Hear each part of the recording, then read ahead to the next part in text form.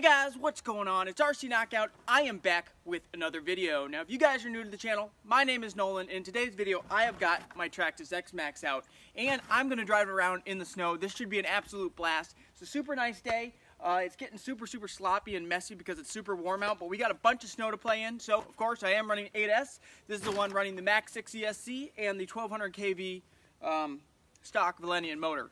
And I believe this is 18 tooth pinion, 52 spur gear. So let's go ahead and jump right into this video.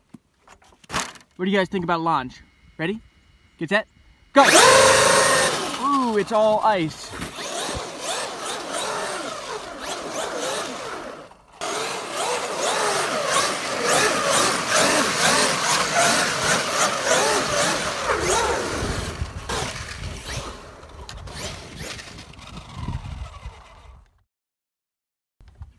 Catch it?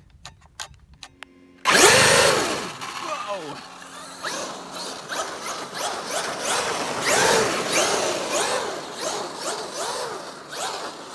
Just drifting it up, guys.